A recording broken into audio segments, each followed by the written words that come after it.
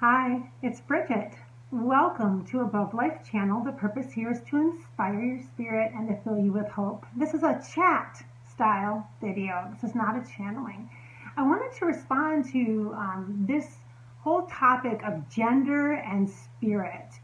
And I think it's really important to address this because, especially because I just got a wonderful email from a transgender, non binary person. And I have to be honest, super transparent because that's what I am.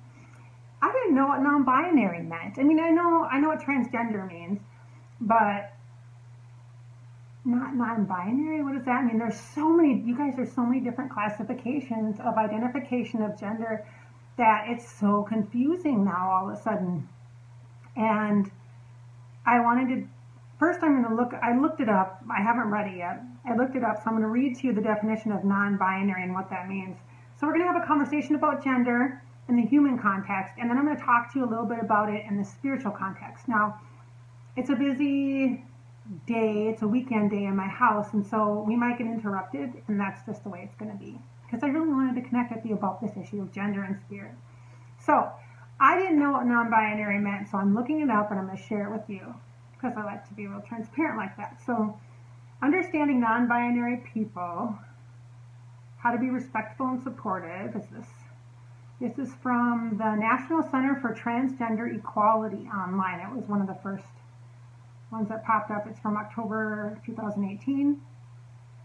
So non-binary defined. Most people, including transgender people, are either male or female, but some people don't readily fit into the categories of man or woman or male or female.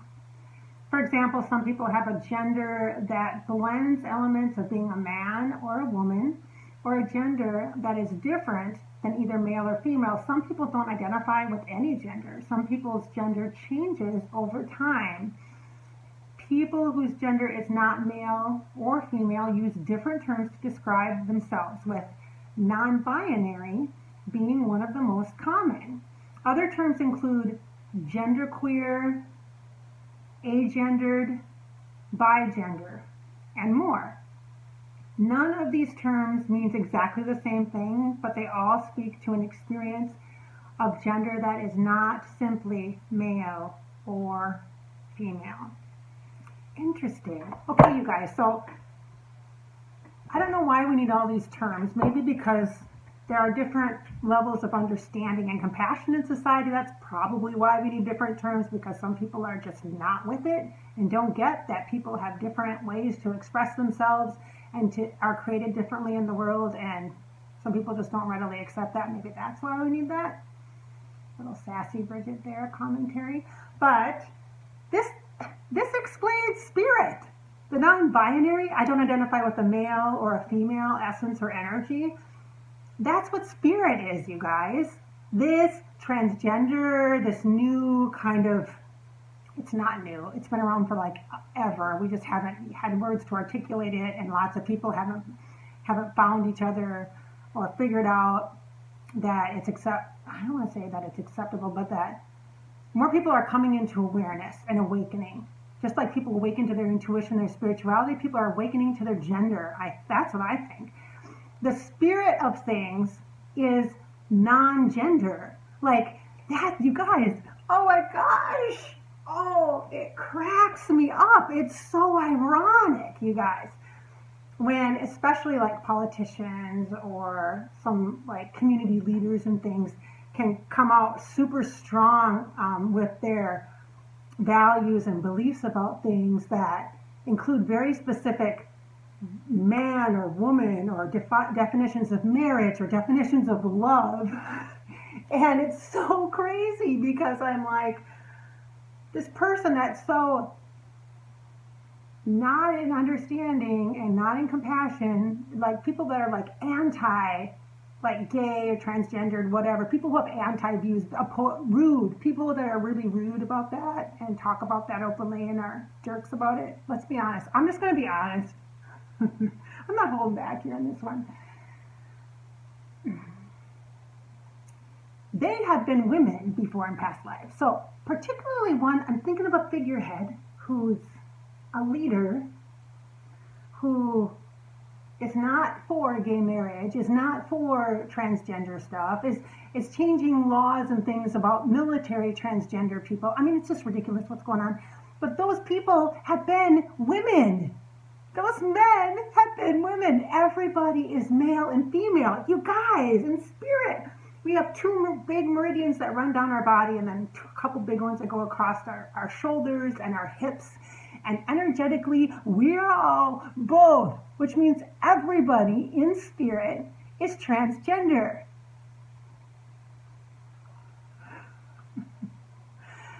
mm-hmm.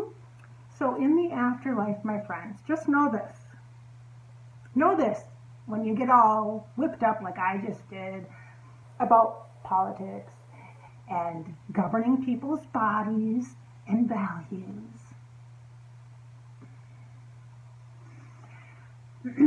just know that in the afterlife, when you bump into those people, you can say, mm, I told you so. Oh, oops, looks like you're a girl and a boy. Oh my goodness. Oh, I bet you're feeling kind of bad about that now. There's an opportunity for gloating in the afterlife. Just so you know, those people that were all about the hate, you can say, see? you know? Because the people who are accepting and understand that love is love and unconditional will go right in the VIP line into the afterlife. And the other people that was so rude and mean and trying to impress rules to control people's bodies and their thoughts and their minds and their expression of love as what they think is other people, the they, people in power think is right and wrong, then they have to wait in the long line. They're going to be waiting a little longer. But the rest of us who are compassionate and loving and understanding about love is love, we'll just go right in. Because that's what it's all about. Love. That's what's at the core of spirituality. That's what's at the core. That's what Jesus represents. That's what the universe represents. That's what heaven and the afterlife represents. That's what spirit energy is. It's just like this loving energy. It's just a state of flow of love. And it's pure and it's whole. And there's no need for approval or definition or identi- identification. It's just loving.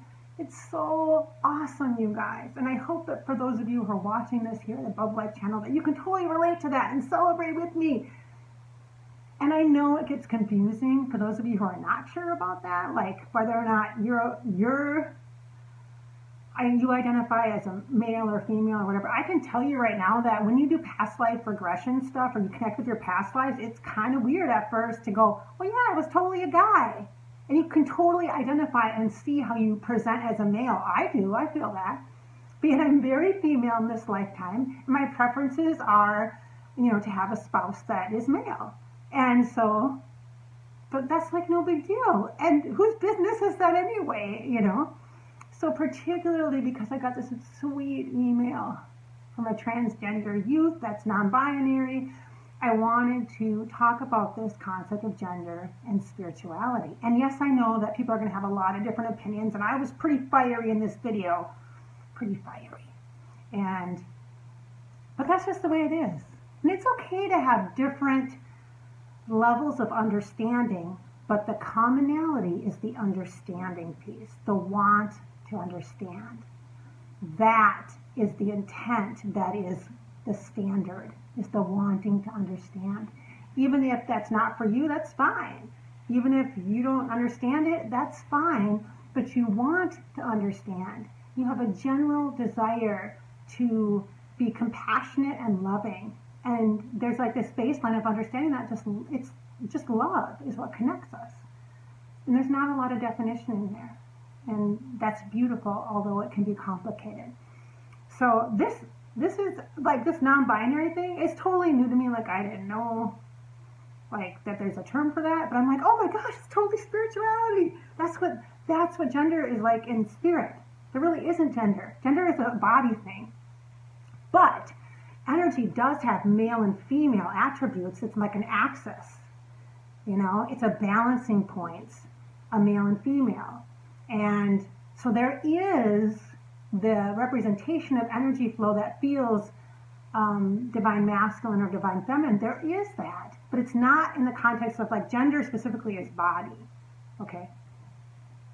So, I mean, it's interesting. We can have so much conversation around this. Like, what does divine masculine mean? What does divine feminine mean? Who do we identify as divine masculine representatives? Like, is it Jesus or is Jesus feminine? Think about that one. Loving, honoring, healing nature. Hmm? Think about that one. What roles do we typically identify as male or female? Do we have nurturing roles primarily defined, defined as female, motherly? Well, what about men who are very nurturing and loving? What does that mean? What does that mean? And is that acceptable in our society? And are there different levels of cultures and parts of the world that perceive these roles differently, that honor some of the roles more than others, or degrade roles more than others? There's so much information. We could just chat about this so much. There's so much you could explore in the context of gender and spirit. So, wow, thank you. This was so interesting to me to talk about this. I do also want to say that if you've had private session with me, I talk about this. I specifically talk about angels because I work with angels a ton. They're non-denominational. They're not identified with a specific religion, religious belief, religious practice. They're just non-denominational. They're multicultural. They're diverse angels. But I identify them with a gender. I give them a personality that helps our minds to connect better with them with their name as a male or a female. We can kind of formulate this understanding based upon our cultural experience, based upon our society experience of what human human experience is like. And so when I talk about angels, I say they're androgynous. Androgynous, which means they're not masculine and they're not feminine. They're both. They're all of it. They're non-defined. But when I talk to you in session, I will identify them as male or female. And you'll probably notice that I have a lot, I don't want to say a lot of males, but I have a pretty good mix of both actually. But I also am usually very careful to say, just because I identify Archangel Gabriel as a man, as a male energy, as dominant, that doesn't mean that that's how you'll identify Archangel Gabriel energy. You might identify Gabriel energy as very feminine. And truthfully, Gabriel, for example, he's a perfect example because to me, he's like my gay friend.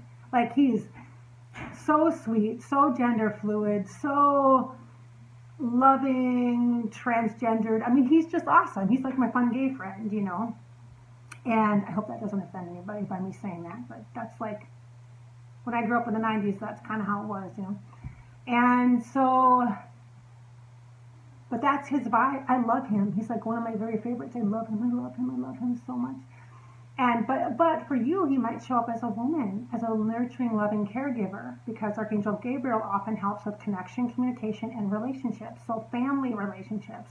If you don't have a mother figure that was strong for you, Gabriel might show up as that. And you might need Gabriel to be a woman or a strong divine feminine energy and showing up for you. But for me, hmm, kind of masculine, but very kind of gender fluid too, in a fun way, in a really great, loving, freedom of expression way. All right. Okay, so this is Bridgette. Wow, I'm really curious about the comments on this one to see. hey, I have opinions and views too. It's just the way it is, right? Wouldn't you rather know than for me to pretend like, oh, I don't ever have any opinions? Yeah, I think you'd rather know. So this is Bridgette. This has been a chat video here at Above Life channel. The purpose always with all the videos is to inspire your spirit and to fill you with hope because this is your life. It's your life. And your job is to live it. Just live it. Thanks so much for watching.